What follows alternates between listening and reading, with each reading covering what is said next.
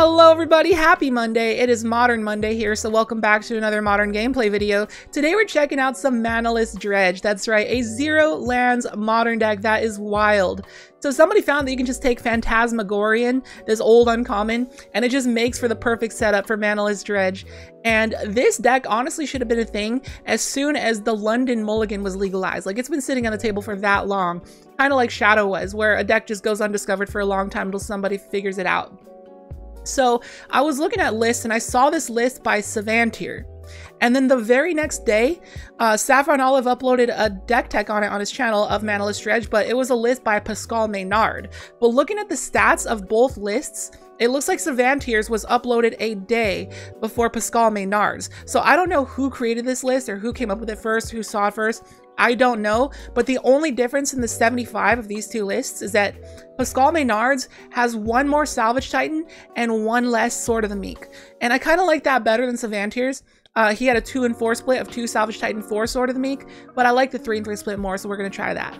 Now, I have no idea what results to expect today. I don't know if we're going to go 0 and 10 or 10 and 0. I have no expectations whatsoever, but this is going to be wacky as heck. Definitely one of the spiciest uh, gameplay videos we're going to have here on the channel. So as always, as we jump right into the deck tech followed by the gameplay, remember to leave a comment down below letting me know what you think about today's deck as well as feel free to leave a suggestion. And if you want to play today's deck along with us, I encourage you to sign up with Mana Traders in the link down below using the code Moon, and you can rent today's deck and play it on MTGO as well as any future decks we play on the channel. And with that, let's get right into it. Hope you enjoy. You would need us some magic cards, but also want to support the channel? Consider purchasing from TCGplayer.com through our decklist link down below. And did you ever want to play Magic Online but buying cards is just too expensive? Consider signing up with Mana Traders through our link down below. They're the go-to MTGO card rental service. And don't forget to use the coupon code Moon when you sign up. So all in dredge can be considered an all in deck, which means it's trying to do just one thing and one thing only. And if it does not do that one thing, then it loses the game. So the ultimate goal of this deck is to get Phantasmagorian in your opener. You're going to choose to be on the draw every time. So you can draw up to eight cards, discard the hand size. You're going to discard Phantasmagorian. And on the very next turn, you're going to use Phantasmagorian's ability to discard three cards and return it from your graveyard to your hand. And that is what's going to trigger all the chaotic events to occur. So we have things to help this out. Serum Powder is the main one. We cannot mulligan down to six with this deck or else you will lose the game because you need to go to hand size and discard Phantasmagorian. So Serum Powder is going to really help with that because if we don't have a Phantasmagorian in our opener, but we have Serum Powder, we get an absolutely free mulligan to try to get Phantasmagorian in our opener. And worst case scenario, if we're going to be forced to mulligan down to six, but we happen to have at least the Once Upon a Time, we can keep that, cast Once Upon a Time for free, and try to search for that Phantasmagorian because we really need it that bad. So then we're going to use Phantasmagorian to discard three cards. The first kinds of things we're going to try to discard are obviously Dredgers because it is Manaless Dredge after all. So we got a playset of Stinkweed Imps and two Thugs because Stinkweed Imps mill more. And then we got Street Wraith, which um, once we get the Dredger into our graveyard, we can cycle Street Wraith to draw a card, and that's going to be replaced with a Dredge, and we're going to go wild like that if we have multiple Street Wraiths. So the next kind of thing that we're going to try to discard are things like Prized Amalgam, because obviously they come back from the graveyard to the battlefield if a creature entered from the graveyard graveyard or library. Vengevine is another thing that can come back, but only if you cast uh, two creature spells in the same turn. So let's move on to the next slide of things that you can cast for free to trigger Vengevine. So Memnite and Ornithopter you can cast for free, and Hollow One is also free because Phantasmagorian makes you discard three cards. Hollow One costs two less to cast for each card you discarded this turn, so it's gonna equate to negative one mana. So Hollow One is technically cheaper than Memnite and Ornithopter. It is just a free 4-4. And note the fact that Memnite and Ornithopter are artifacts, because let's move on to our next slide. Salvage Titan is the next main bomb we're trying to get out um, because you can sacrifice three artifacts rather than pay its casting cost. Therefore, you can sacrifice your useless Memnites and Ornithopters, or you can sacrifice things like Mishra's Bauble, which we're using as a cantrip, and Sword of the Meek, which also works with that second trigger with Memnite, because Memnite is a 1-1, and get the Sword of Meek back from the graveyard to the battlefield. You can sacrifice three artifacts, get Salvage Titan into play for free, free 6-4, there you go. That is the next beefy play. And then the last slide is just things that you're going to incidentally mill over. Narcomoeba, if you accidentally dredge over it, it's going to go right under the battlefield, and Creeping Chill is going to lightning helix your opponent right in the face.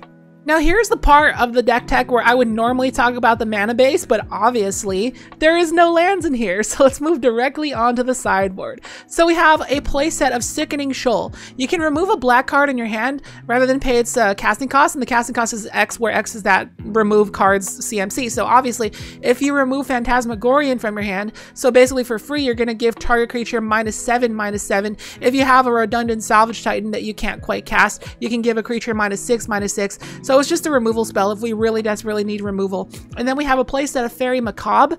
Uh, this can exile cards from the graveyard for free.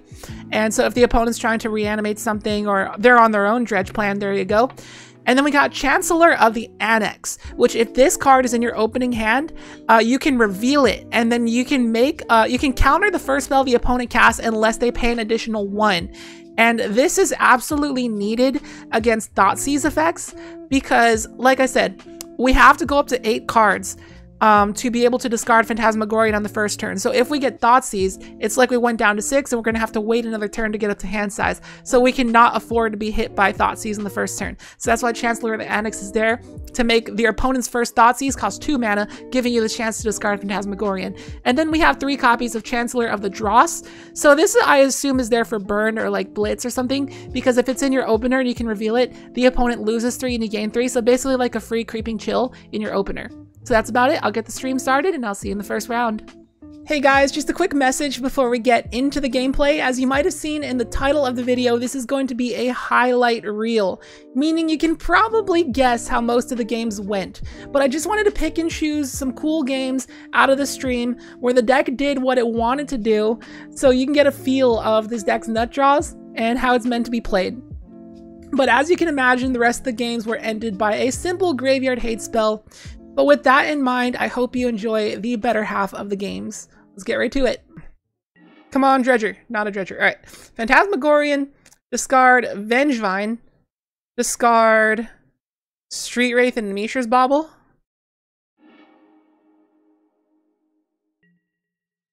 All right, play a free... Oh, no, not cycling. Play a free hollow one. Um, play a Memnite. Dang it. Play Mem Memnite, trigger Vengevine, say yes, and then play Mishra's Bauble, play Ornithopter, cast by sacrificing three artifacts. Boom. Get in there for four. now that is turn two, uh, turn two, 14 power on board. It's not turn three lethal. We only swing them down to two. Um, but let's see what they're doing. I don't know what they're doing. Oh no, we might just die. It's Twiddlestorm. We we might just die, guys. Uh, all right. Let's discard Stinkweed Imp, Thug, Sword. Cycle Street Wraith. Dredge of the Stinkweed Imp. Ooh, I hit another one. Alright, discard. Stinkweed Imp. Phantasmagorian. Salvage Titan. Draw. Dredge over Stinkweed Imp. I hit Creeping Chill and Prize and uh, Narcomoeba. Gonna be a yes. It's gonna be a yes. Trigger. Oh, I got Triple Sword? Oh man. It's gonna get legit in here. And I'm getting back Prized Amalgam. So now I play Ornithopter. And now Salvage Titan, and I'm gonna get back the, uh... I'm gonna get back the Vengevine now. And then I'm going to get back the Prized Amalgam. Okay, this is good. This is good. I like this a lot.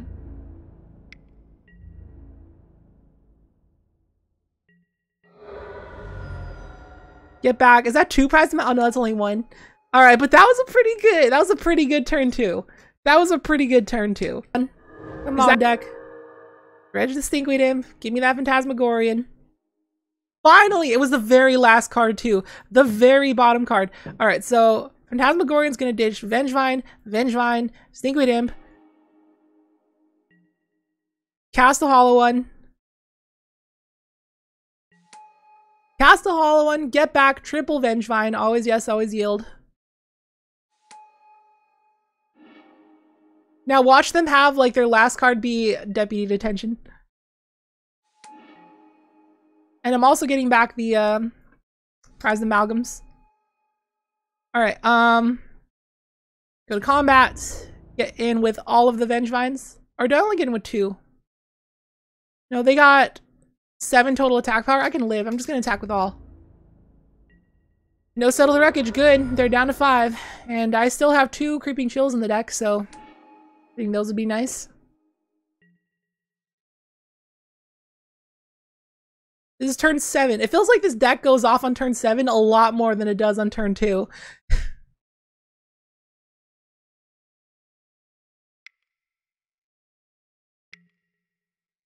oh, of course. Winds of Abandon.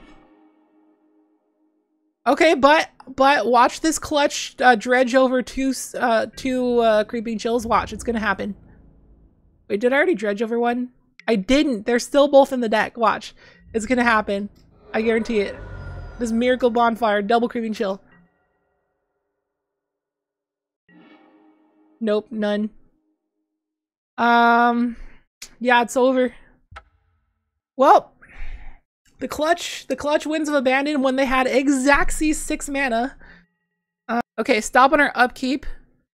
Um, use Phantasmagorian to discard Stinkweed Imp, Golgari Thug, and Vengevine. Oh, I have no Street Wraith. I don't know why I did that. Let's go to draw and dredge the Stinkweed Imp. Um, alright. I didn't really... I got another Vengevine in there, though. Alright, so cast a free hollow one.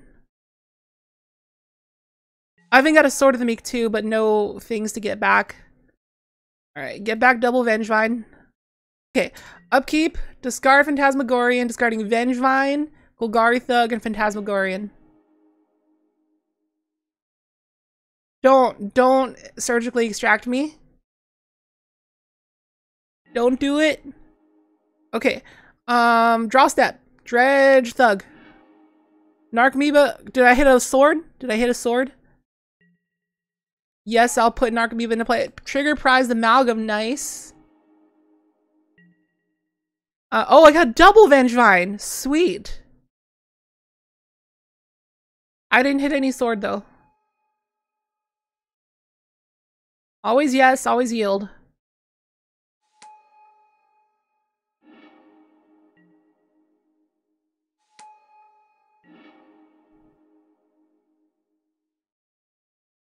Um,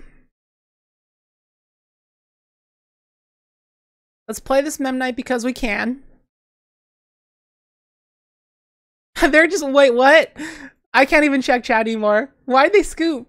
Well, what was their hand? They just went land giver, land, land, land, nothing. Like, what What was your plan? What were you doing? I bet they were going to play like a Thought-Knot Seer next turn, and it was just a little bit too late. See, even with the mulligan to six, we still made it. Because we can still, like, usually we want to go off like crazy hardcore on turn two, but we can do it on turn three, you know, with whatever. So Phantasmagorian is going to discard Thug, Amalgam, and Sword of the Meek. Let's dredge, or let's uh, cycle and dredge a thug, get back Narcomoeba, yes, get back a sword, and get back Prized Amalgam. Swords here. Um, play Mishra's Bauble, Mishra's Bauble. Sacrifice to Salvage Titan. Cast a Hollow One. End step, get back Prized Amalgam. Okay, at the end of your second main phase, I will cycle the Street Wraith. And I'll dredge Stinkweed Imp. Creeping Chill. Yes. I will use Creeping... Yeah, oh! Creeping Chill does it! Creeping Chill does it!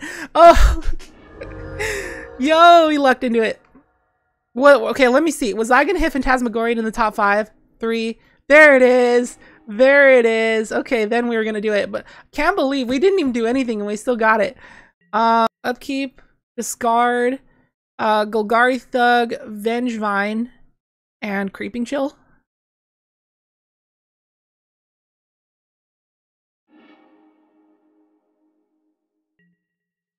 Cycle Street Wraith.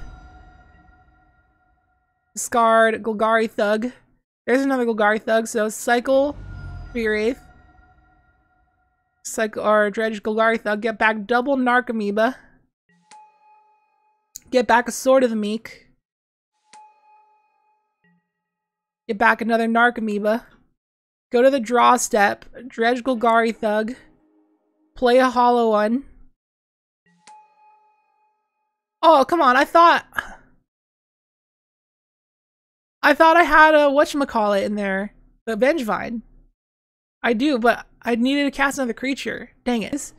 Okay, Phantasmagorian, discard Sword of the Meek, Sword of the Meek, and Narcomoeba. Play a Memnite, get back double Sword of the Meek. Yes, and yes. Play a hollow one, um, play an Ornithopter, Salvage Titan, discard, or sack Sword, Ornithopter, and Sword. And pass the turn. That's all we got. That is all we got. So, okay, they're cracking their their elixir. I still have 11 damage coming at you. Yeah, you're at seven, but you gotta kill two things. You have to kill two things here. They didn't use their lily. They're taking it. Oh man, we got one. oh, I can't believe we did it. Their deck was super weird though. So it's like not it's not like a legit win but at least it's a win. And you know what? The amount of time we've been playing all day to even get one of these so-called wins, I'll take it no matter what it is. Because it was as easy as just a, a supreme verdict or a rest in peace for them, and we managed to dodge it. Man, this deck is a serious glass cannon. Turn 5, unacceptable. So we ended up with one win, and it was against some jank. Um, so this deck is an absolute glass cannon. And what this deck tends to do is win game one and then proceed to get bopped by the tiniest amount of hate in games two and three. It literally takes a single graveyard hate spell or a single board wipe to just wipe us out. Like that's all it takes. But it's fun and it's funny and it's it's you know if you like building funny hilarious decks to impress your friends, um, you should try Manaless Dredge. It's not gonna win in game two or three, but at least you'll get a good laugh out of it. It's uh it's it's definitely something. I, I think that this deck is has a lot of brewability to it though. It has a lot of tinkering to be done, and I think if you're gonna make it a little like every time that we didn't go off on turn two, because this deck goes off on turn two. Um, every time we didn't go off on turn two, because usually you just ditch Phantasmagorian do this stuff, it would go off on like turn seven or eight. Like it would take a while to get everything set up because like if you didn't get the nuts in your opener, then you'd have to wait until you just naturally dredge into the nuts. And one of the like there were some problems. Sometimes it was too difficult to trigger Vengevine because sometimes you didn't have like your zero drops in hand and stuff and like your hollow ones. Like these are your like your only things because sometimes um one of the most often ways we would trigger Vengevine is going to like Ornithopter or Memnite or whatever into like trigger Salvage Titan off of like a Sword of the Meek that just came back from a but triggering it. And that does not happen on turn two. If that if that's gonna happen, it's gonna happen later. Um, so yeah, I just felt a little difficult to trigger this at times, and then it felt um a little difficult to even play salvage titan sometimes because you really have to rely on dredging over those narcomoebas to play a sword of the meek because basically if if memnite's not in your opener then the only thing to get back the sword or to even find it is dredging over it and it takes a while and you know sometimes you don't even have a dredger in your opener and sometimes you find the dredger but it doesn't dredge over another dredger to continue the chain so you know, it's it's pretty it's a pretty inconsistent deck, but when it works, it's funny. And it, it it worked a few times. I, I don't know how I will edit this video, but you'll know because you're watching at this point. I feel like I'm just gonna do a highlight reel. I feel I don't feel like I'm gonna do like a a montage like I would usually do for for um gameplay videos that have nothing but losses and one janky win. But I think that a highlight reel would be good for this one, just to show off the games um, where the deck did what it wanted to do or you know went off and stuff and then just just know that every other round i probably already said it at this point if i did do that but every other every every game. What happened after game one, after the crazy nonsense happened, is a simple graveyard hate spell, and that's all it. That's all it takes. And everybody packs graveyard hate in their board because graveyards are like a really huge resource in modern, and uh, it's it's not smart to play decks like this until modern becomes a meta where graveyard decks are gone but they're very much not gone. They're very much still alive. Any deck that plays Emry, which there's tons of, Dredge is still a thing. And yeah, it's a little bit dangerous right now. Glass cannon, but like I said, lots of fun. So if you enjoyed it, hit that like button down below and subscribe if you're new for the spiciest gameplay every other day. Uh, leave a comment down below, let me know what you think about today's deck, as well as feel free to leave a suggestion for a future video. And if you'd like to try out today's deck for yourself, brew around with it, make it better, and you want to try it on Moto, um, I would encourage you to sign up with Mana Traders in the link down below using the code Moon to save 50% off. Help support the channel, and you can rent decks on MTGO instead of having to buy the cards and spend a fortune and waste all your money. You can do the smart thing, get Mana Traders, and rent the cards. And thank you to all the sponsors, TCG Player, and thanks to all my patrons. And I'm going to get out of here. Thank you for watching, and I'll catch you in the next video. Peace out.